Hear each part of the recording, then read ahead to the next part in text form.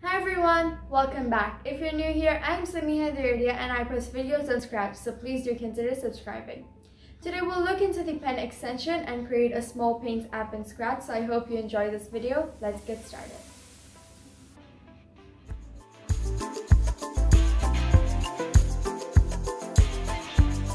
Okay, so this is the simple paint app we'll be creating today. Here you can see we have the preview, size will change, so will the color. And here we can draw by pressing the space key. Here we have a few buttons, so here I also have the erase and the erase all. All these buttons have two costumes, real simple sprites. So I'm going to draw them. Meantime, you can subscribe. Alright, so here I've drawn these sprites, hope you've subscribed. So first sprite here we have is the pencil, which has two costumes, the pencil and the eraser. Then we have the other buttons, which is draw with two costumes. One is the highlighted one and one is the initial one. Same goes with erase and erase all.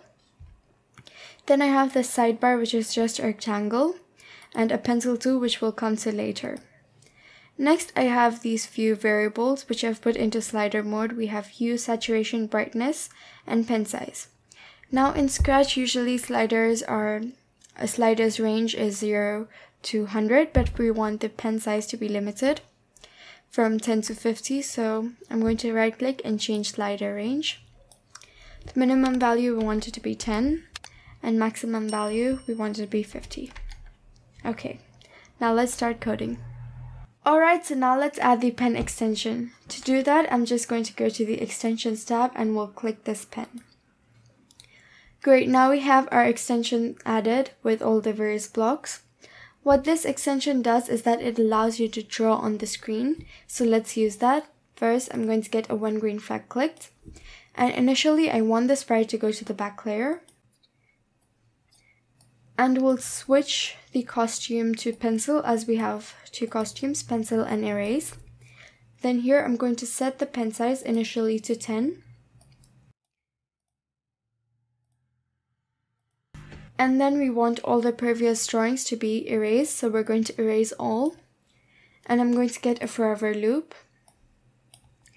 So forever we're going to set pen size to the variable pen size. And then we're going to make this follow the mouse pointer. So we're going to go to mouse pointer. And we'll activate the drawing when the space key is pressed. So I'm going to get an if then else condition. If key space is pressed, then we're going to do pen down. Else we're going to do pen up. Okay, so let's test this. Okay, our pencil is following the mouse pointer I'm going to press space and great so when I start again the drawing is deleted great alright so now let's code the erase button so when green flag clicked I want it to start with the initial costume which is costume 1 so I'm going to switch costume to 1 and then when the sprite is clicked we want to switch costume to the next costume so I'm just going to put next costume. And then we want to check if the costume number is equals to 2, which is the highlighted one. So costume number is equals to 2. Then here I'm going to create a variable and I'll name it is eraser. This will be a global variable. So I'm just going to hide it and then we're going to set is eraser to true and here we're going to broadcast a message I'll call it erase now I'm just going to copy this code to this draw button because the code is going to be pretty similar okay so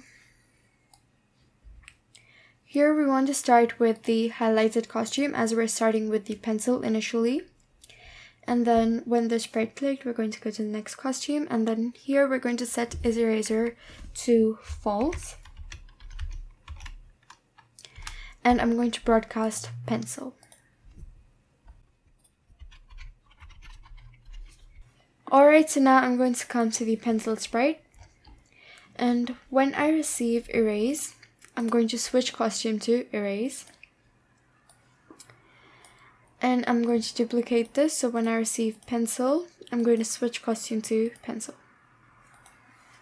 And now I'm going to come to the variables and get this set block. So I'm going to set is eraser to false. I'll put this at the start right here. Okay. Now let's change the color of the pen. For that, I'm going to get another one green flag clicked. And here I'm going to set hue to zero brightness to zero, saturation to zero as well. So basically we're starting with the color black and forever I'm going to get an if then else condition. So we're going to check if is eraser is equals to false.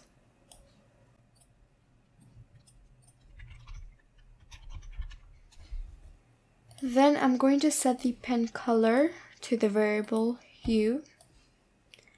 Just going to duplicate this. We'll set pen saturation to the variable saturation.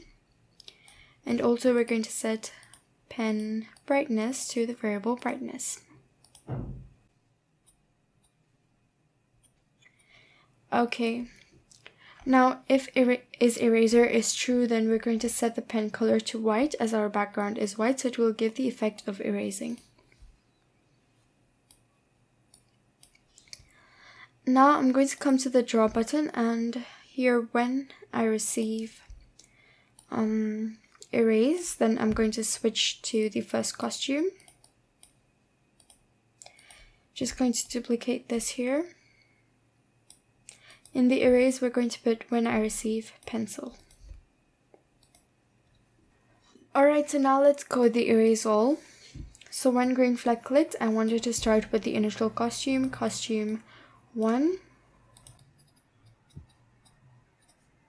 And then when the sprite is clicked, I want to switch to costume 2.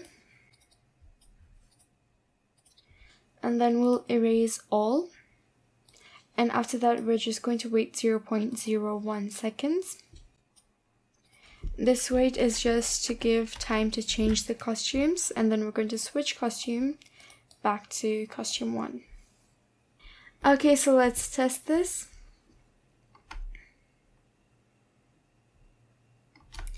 Okay, now I'm going to change a color to something else.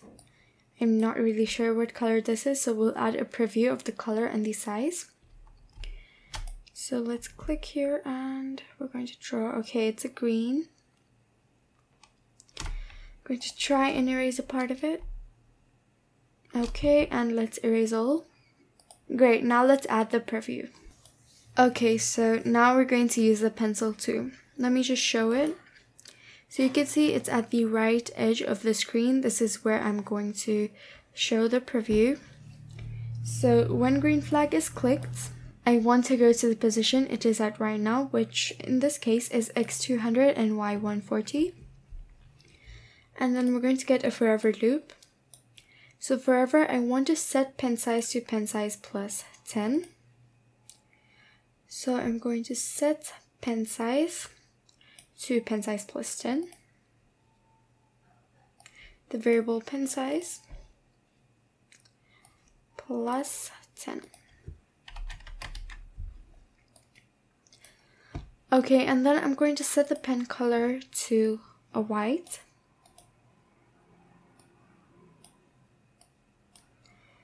Now this is that we can erase whatever we've drawn before as we're going to put a dot continuously forever. So then we're going to do pen down. And then again, I'm going to set pen size to pen size.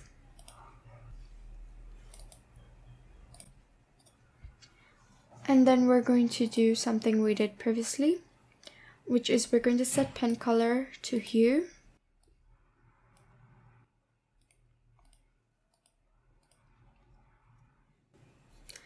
Set pen saturation to saturation. And then we're going to set pen brightness to brightness.